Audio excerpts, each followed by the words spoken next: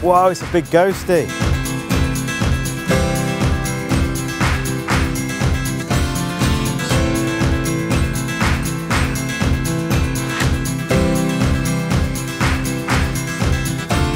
Welcome to another episode of Cadence Fishing TV.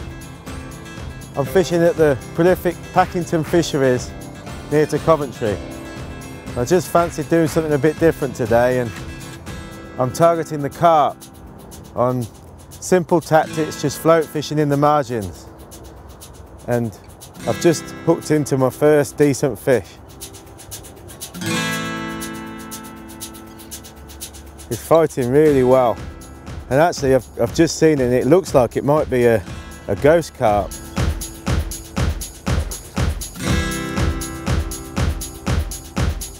I'm going to take my time as it's the first fish and I'm not, I've set two rods up and this is my lighter of the two so I'm going to give this fish some respect and hopefully we'll get him in the net.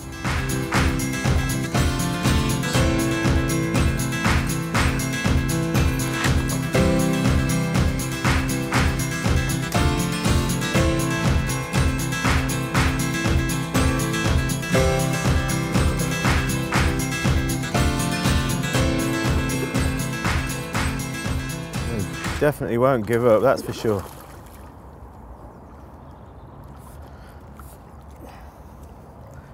Fantastic. Look at that, Monty. That's what we came for. It's a beautifully conditioned ghost carp. Probably about six pounds. Absolutely spectacular fish and what a fight. Well, what a beautiful fish that ghosty is. I don't catch very many of them and I'm thrilled with that one. When we got here we baited up a few different spots so I'm going to get this fish back and then we're going to go and try another spot but that was the theme of today really.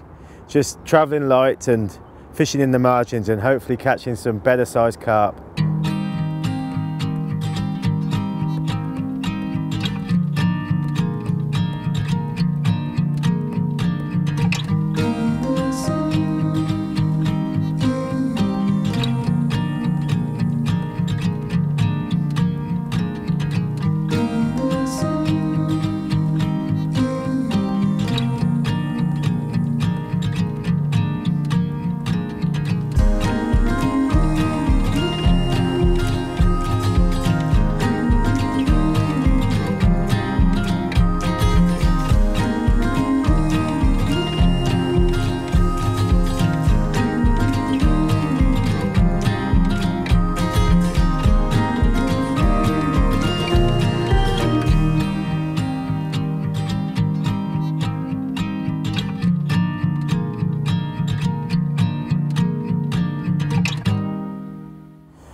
Well, after the disturbance of hooking and landing that beautiful ghost carp, I'm going to top this peg up with a bit more bait.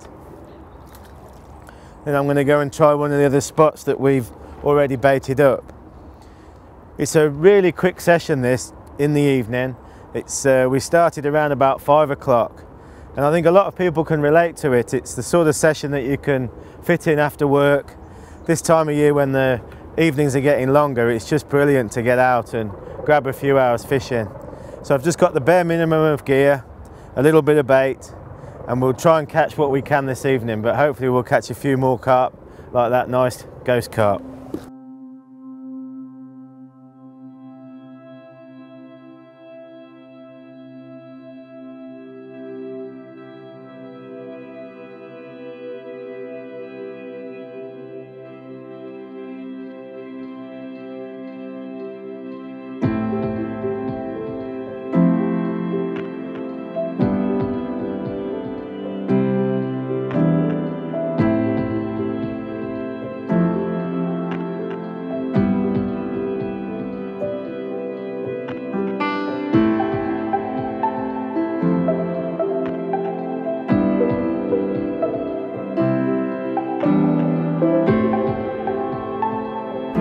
Come on then,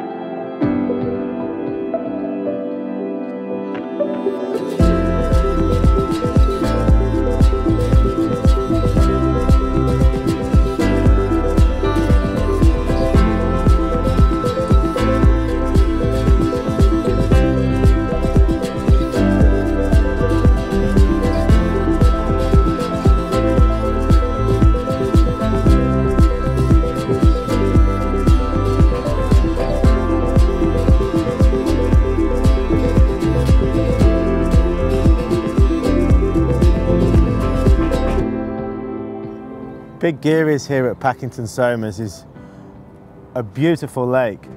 All the lakes here are really nice and established and many of the different pegs have got some great features. So when I got here this evening, I baited up four or five different spots that all look really promising.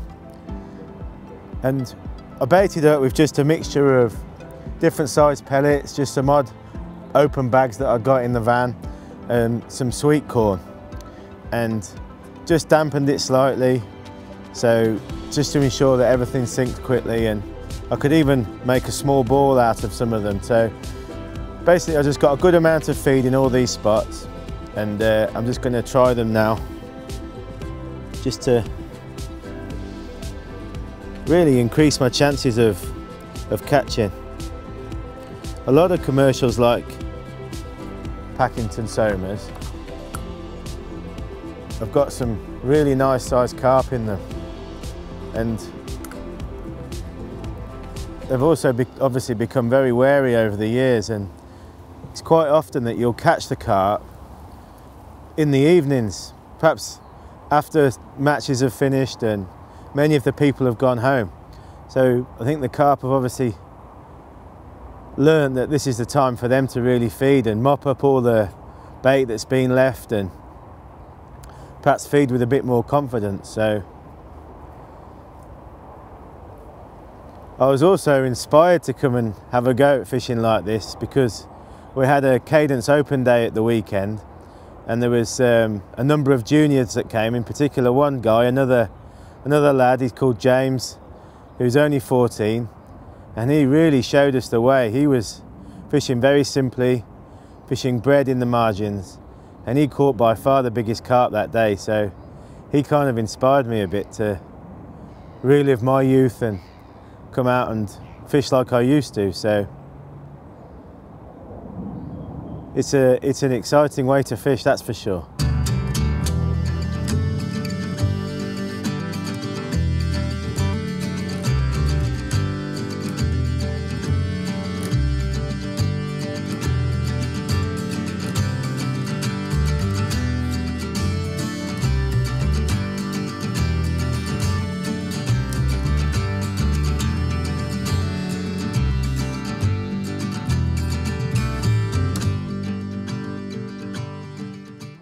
So I set two different rods up to float fish on this quick session.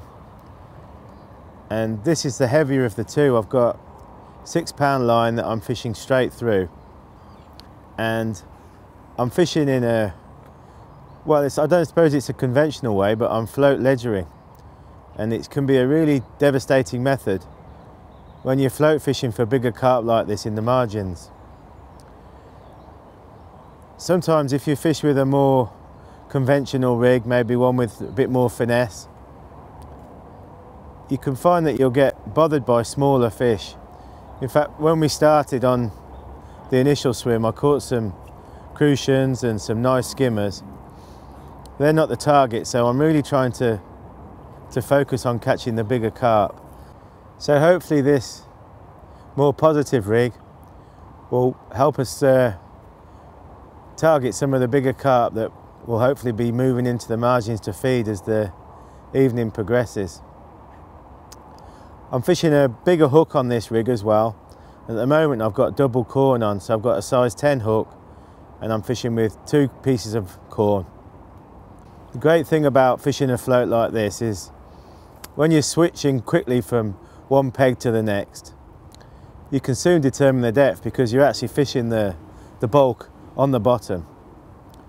And it just takes a matter of seconds to adjust the float and you can be actually really accurate with it and it's actually a very, very sensitive method as well.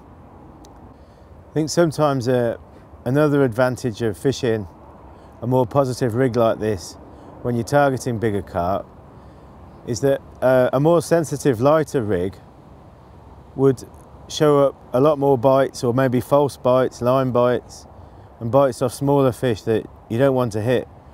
And you can see that on the float at the moment. I'm getting lots of knocks and dinks and there's obviously fish feeding in the area. And I'm just waiting for a, a positive bite and that'll either be the classic float just sliding away or it might even be a, a lift bite as the fish picks up the bait and pulls the bulk off the bottom. So this is that positive rig that I was talking about and the float I'm using that's just a very simple 2AA peacock straight waggler and I've just attached that by threading some silicone on the line and then simply pushing that into the silicone. So it's tight enough to fix the depth, but I haven't got any locking shot around it at all. And then this peg I'm fishing is about two and a half foot deep.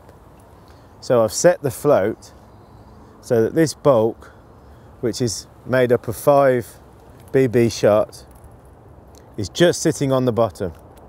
And I like to lay the rig in, depending which way I'm fishing and which way the wind's blowing. So I swing it away from me. So that bulk's on the bottom. And then at the moment I've got around about a foot tail to my hook with no other shot on. So that bait there is on the bottom. And that's great because I want to ensure that that bait stays on the bottom and presents itself in a very natural way.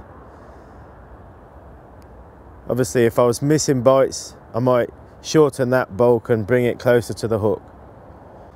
And by fishing with a bottom end only float like that, I've got the advantage of being able to sink the line as well.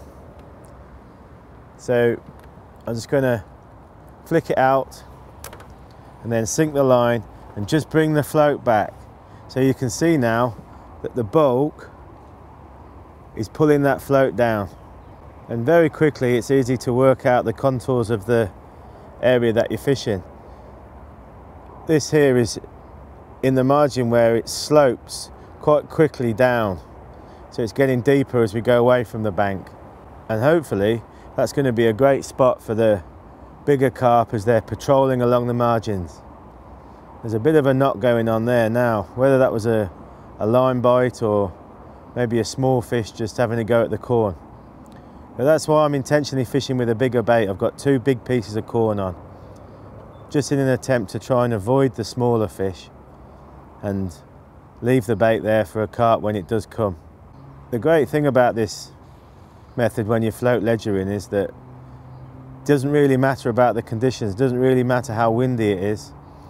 So as fishing in a strong wind, that float would hold perfectly. It wouldn't get blown around like a lighter rig would. There's definitely something down there. It'd just be great to get another nice big carp now. Well, fishing like this is definitely a relaxing way of fishing. It's not too hectic in terms of feeding and casting, and it's just perfect for a quick session just to unwind, perhaps after a busy day at work. So, such an enjoyable way of fishing.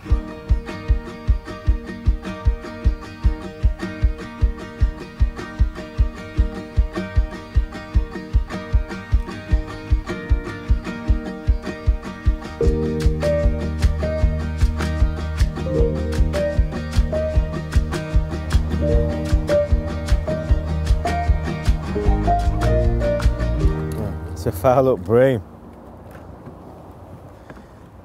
Well, that got me going. Thought that was another carp initially, but I think it's a, a foul hook skimmer bream.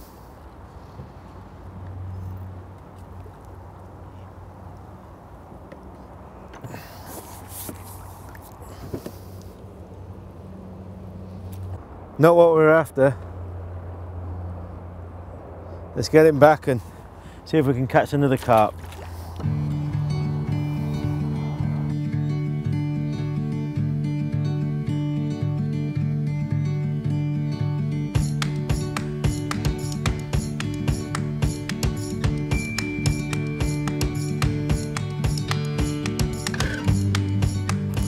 Well, that's definitely not a skimmer. It's a nice carp and he's trying to do me under the platform. I've seen some swirls right close into that tree stump next to the bank and I just repositioned my float, I just shallowed up a little bit. Wow, it thinks it's a salmon.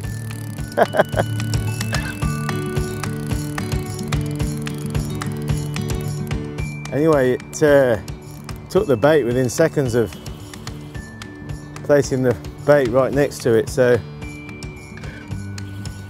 this is definitely a better fish.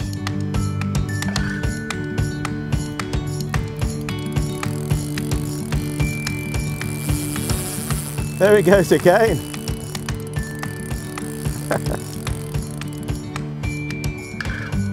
well, I've got six pound line on this rig and the rod I'm using is the 13 foot number three so it's got plenty of power to cope with bigger carp like this. Can see it's bending really nicely and absorbing all the lunges of this carp.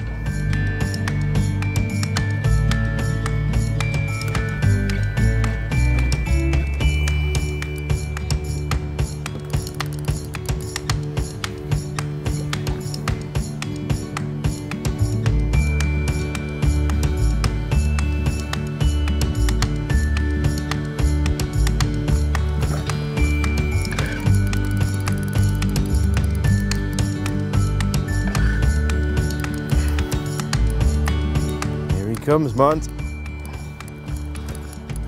Not quite.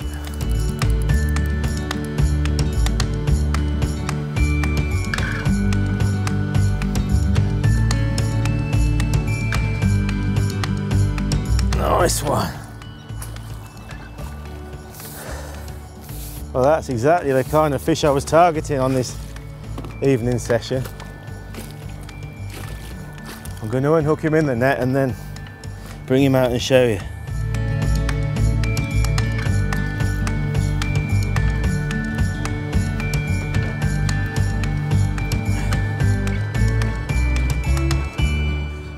Well that's a nice long thin mirror carp, around about eight pound.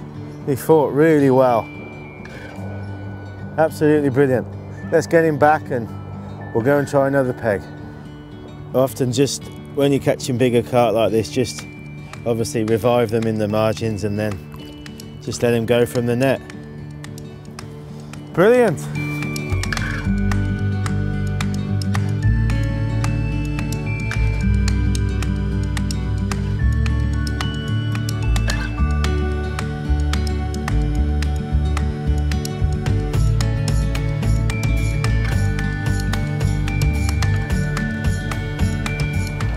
So I think I'm going to sneak back to the original swim. I definitely saw some more carp up there, so we'll give that one another go. I put a fair bit of bait in as well when I left it last time, so hopefully there'll be a few more carp banging around there.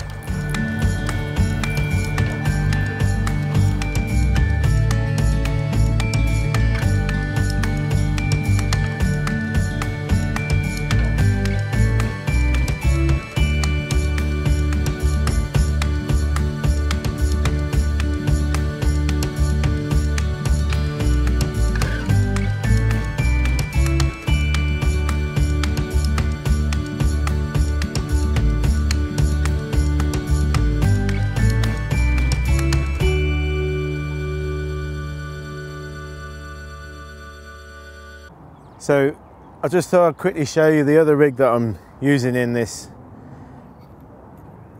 quick session. Obviously, the great thing nowadays with ready rod sleeves is you can leave your rods set up. So, you know, you can leave them in your van or car and you can get fishing really quickly to save time. But this is the other rig and it's um, a two and a half AA Drennan puddle chucker float, which as you can see is quite short but it's buoyant and it's got a really nice size tip. So I won't dot that right down like I normally would when I'm float fishing. I'll leave a bit of that showing. So again, I can hopefully read any line bites and wait for a more positive bite. And I've just got that simply trapped on two AAs and I've got two number eight shot around about a foot from the hook and I'm fishing that so that those shots are just off the bottom and again that just helps me to to register bites and try and pin the bait down on the bottom. On this rig I'm using a size 14 Guru hook and I've got some different hooks tied up, some with hairs and some where I'm just fishing straight on the hook like I am in this case. So I've got some different options with that and I'm fishing that on four pound Pro Gold. And then on the float ledger rig, I'm fishing with six pound Pro Gold.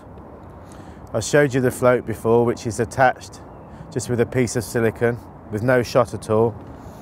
I've got the bulk and I've got a, a bigger hook, a size 10 Guru.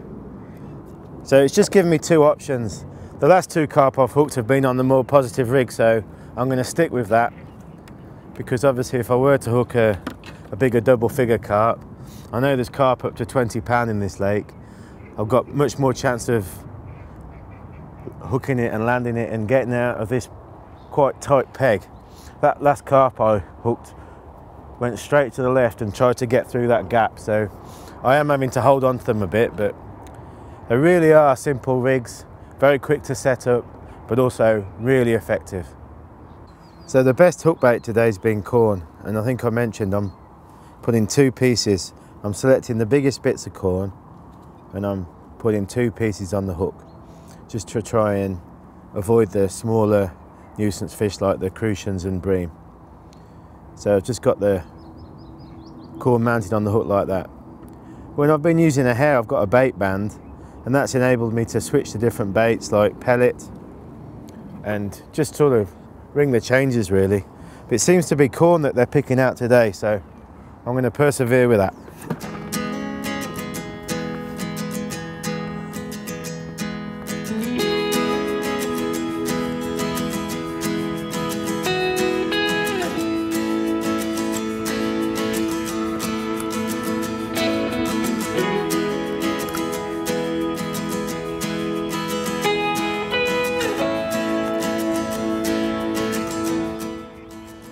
Targeting bigger carp and I'm feeding really positively.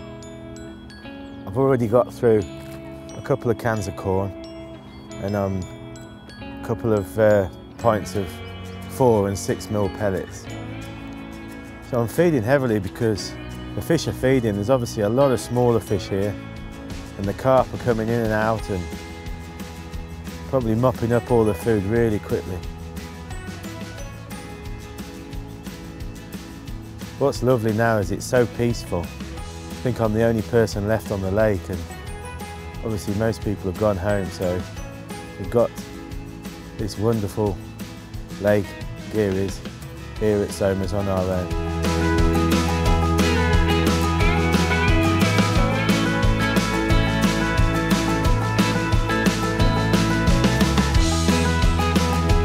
I guess I'm predominantly a matchman and I, I do find it hard to leave the knocks and plucks that I'm getting. Obviously a lot of activity down there and you've got to be patient and wait for that positive bite. Sometimes it's maybe the smaller fish have just got hold of the bait or the bigger carp are feeding around your hook and line and just rubbing against it. So you really want to wait for that positive bite because if you did strike at a line bite, maybe risk foul hooking a fish or spooking a fish, you've got to go back through the process of feeding and attracting them and getting their confidence back.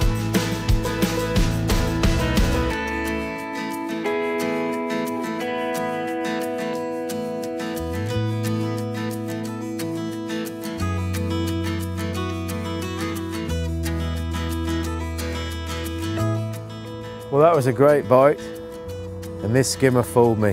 I thought it was a decent carp. Never mind, still a nice fish.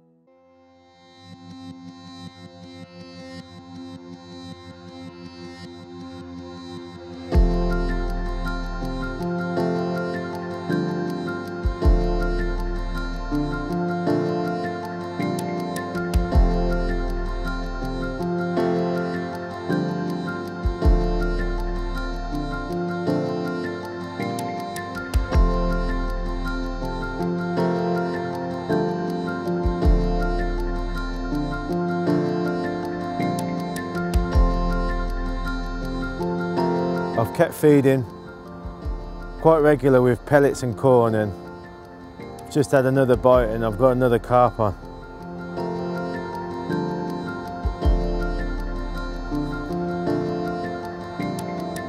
You can see how progressive the rod is. It's got tremendous power, this 13 foot number three, but it keeps bending. And that fish, when I hooked it, really tried to get through to the left where there's a gap in the island.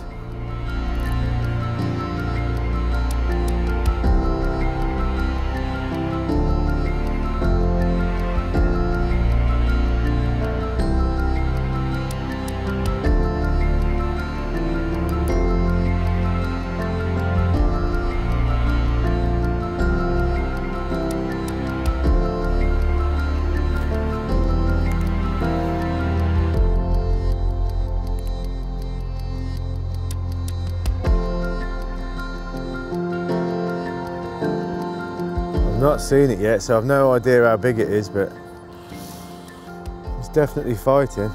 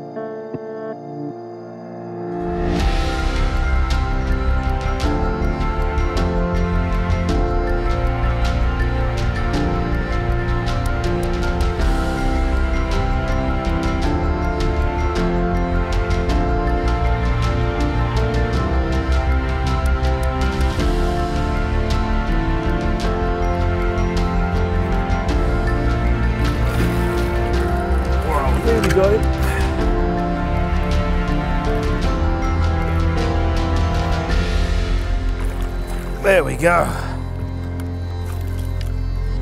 Another nice carp.